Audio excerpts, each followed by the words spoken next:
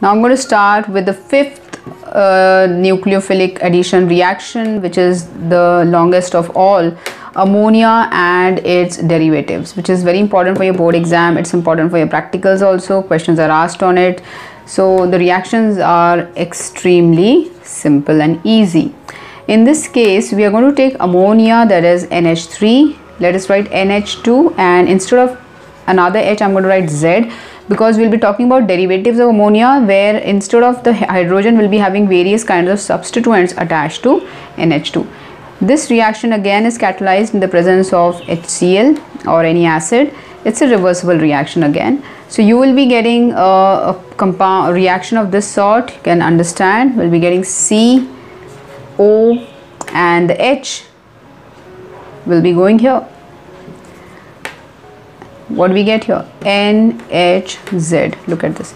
This is the first step. This is the intermediate. Naturally in the second step you're going to just knock out this. So if you uh, leave this compound on its own it is going to release water molecules water molecule. And we are going to get C a double bond NZ so finally children we are going to get such kind of you know products. So equilibrium is going to favor the product formation here in this case because of rapid dehydration of the intermediate to form this kind of compound.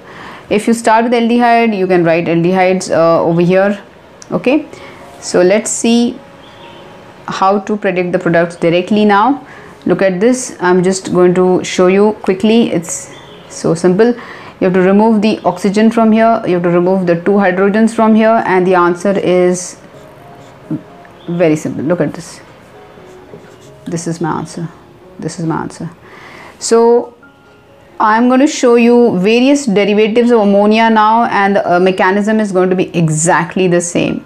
You all must know the names of all the reagents plus the names of the products which they form. Let's see all of them one by one so totally there are going to be six uh, you know reagents children. The first reagent which we're going to discuss about is uh, a primary amine. Look at this. So here we have primary amine and that is my reagent. The second reagent which we'll be uh, looking at is hydroxylamine. The third reagent we'll be looking out is hydrazine the fourth reagent uh, children we will be talking about is hydrazine but with a phenyl group attached over there. That becomes your phenyl hydrazine. The next reagent is going to be 2,4-dinitrophenylhydrazine which will be written like this. 1, 2, 4. 2,4-dinitrophenylhydrazine. Let me write down the names of all these reagents because I have seen many a times children don't know the names also. The reagent number 1 is a primary amine. The reagent number 2 is a hydroxylamine. Please learn all the names. With practice you will learn. Hydrazine is the third reagent. Phenylhydrazine. Where did we use hydrazine before if you remember? In Wolff-Kishner reduction. Okay phenylhydrazine and the next is which one the most important reagent of all the most important in this fifth reaction is this 2,4-DNP. It's extremely important for your board exam for practicals as well as for theory also. The full form of this is 2,4-dinitrophenylhydrazine. Okay, 2,4-dinitrophenylhydrazine. So children, these were the reagents. There's one more reagent which I'll be writing. That is over here I can write down.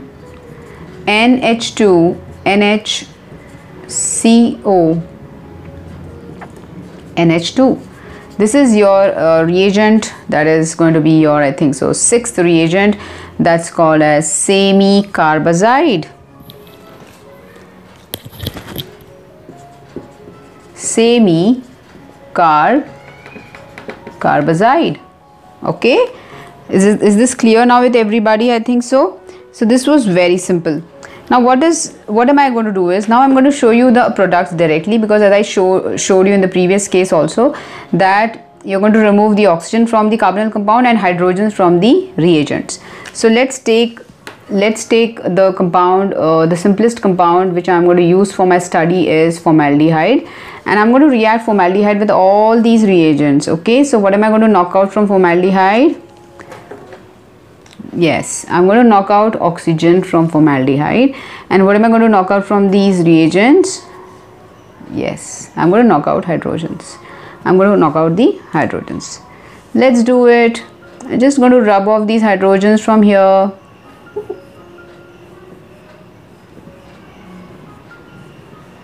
Okay. And over here I think I have to write it very very neatly. It's not looking very clear so this is NH2 okay? And I'm going to remove these hydrogens naturally because I, I have to make a bond. Alright so I have done the needful. I have removed the two hydrogens from there from all the reagents. Please remember we're going to remove from the left hand side. Now this I'll talk about uh, about it later on. So the moment we do this now I'm going to just condense it and I'm going to just fix up the like this. HCH double bond NHCONH2 again over here HCH double bond HCH double bond HCH double bond and so on. Let's write it in short. Let's write it in short. Look at this the answers are there. So these are my answers. What were the answers? Now the names have to be changed because now the reagents have got converted to the answers the product. So the primary amine when it reacted with an uh, aldehyde or a ketone the product formed is going to be called as substituted imine it is called as substituted imine or it is called as Schiff's base. When hydroxylamine reacts with an aldehyde or a uh, or a ketone the product is going to be called as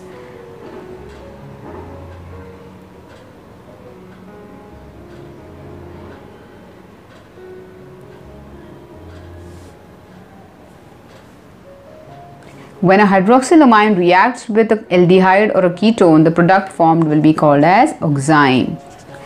When hydrazine reacts with an aldehyde or a ketone, the product form is called as hydrazone. When phenylhydrazine reacts, the product formed is called as phenyl hydrazone. And when 2,4-dinitrophenylhydrazine reacts with an aldehyde or a ketone, the product is called 2,4-dinitrophenylhydrazone. Zone, zone, zone. Just remember, okay? And when semicarbazide reacts with an aldehyde or a ketone, the product formed is called as semicarbazone. The product formed is called as semicarbazone. One one mark questions will be asked. You can see here the formulae of reagents are not that challenging. Just practice at least two three times. It will be uh, learned by you. I'm, I'm extremely confident about that. So remember one mark question. What's a Schiff's base? So when a primary amine reacts uh, with an aldehyde or ketone we get Schiff's base. It's also called as substituted imine and these are all one one mark questions. 2,4 DNP, I told you was very important now 2,4-DNP is a uh, an important reagent to identify the presence of an aldehyde or a ketone because this reagent can react with any aldehyde or a ketone to form orange or red colored crystalline product. So the PPT which you get over here 2,4-dinitrophenylhydrazone this will be in the form of a precipitate okay PPT it's a short form.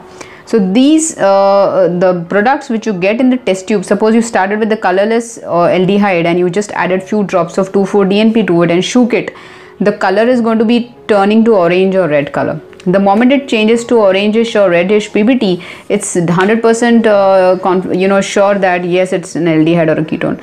So 2,4-DNP is a distinguishing reagent for identifying aldehyde or a ketone. Alright, I want to talk about this reagent semicarbazide. There's an uh, error over here as I can see NH2 NH should be there here. So this is the formula. Once again children look at the formula. I'll be rewriting the formula. NH2 NHCO NH2 okay so please remember that was there was a slight error over there I just now realized that so this is my semi carbazide so what question can be asked in the exam is that there are two nitrogen atoms in the formula but uh, why does the attack takes place from the left hand side and not from the right hand side? So it's uh, simple. When the attack takes place from the left hand side the lone pair of uh, amines we are using. So this NH2 is the uh, NH2 of amines whereas this NH2 is the NH2 of amides and you can see that the lone pair are not free they are involved in resonance. So how will they attack uh, other atom? Because they are busy inside with resonance only. So the answer is that the lone pair of uh, CONH2 are involved in resonance and hence they are not free for nucleophilic attack. Whereas in this case amines nitrogen is uh, lone pair is freely available and hence is going to attack so what kind of question can be there in the exam? For example if i give you a question like this ch3co ch3 and i draw uh, the structure of semi carbazide in the board exam like this nh2co nh uh, NH2. So what you have to bear in mind is that be very very particular about that. I'm not going to attack from this side okay? I'm going to attack from this side. Otherwise in hurry you may attack from in, this side uh, thinking that yes I am just going to knock out the hydrogens. No we're not going to do that. So we're going to knock out these two and the, this oxygen. And my answer is going to be final answer is going to be CH3 C CH3 and then just uh, write this double bond over there and connect it with this nitrogen and the remaining thing remains as it NHCO NH2 so this is going to be my semi carbazone acetone semi carbazone because I started with acetone or if I say IUPAC propanone semi carbazone uh, carbazide. Sorry carbazide has become carbazone. So I'll be saying it's become now acetone semi carbazone all right. So remember this point. The formula has to be learned by you thoroughly because uh, i also drew the wrong formula. Initially it was urea which i showed you in the beginning but it has to be semi carbazide so just remember it's a derivative of uh, hydrazine only. So nh2 nh2 you have to change change. Nh2 nh2 and then just attach CONH2 so children these were uh, i think so how many reagents we have discussed so far? Yeah we have discussed five and so many of uh, derivatives of ammonia.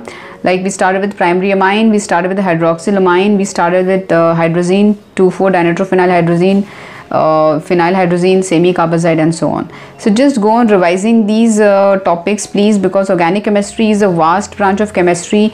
And if you will revise uh, learn the reagents uh, NCERT textbook exercises you try to solve then only you'll be getting proficiency and confidence to write the answers in the exam. All right the more you practice the better you become. So uh, that's that's all from this video children. Uh, i'm going to talk about some more reactions in my next uh, class. uh, so bye bye from from now. Uh, take care. Uh, god bless you. Keep studying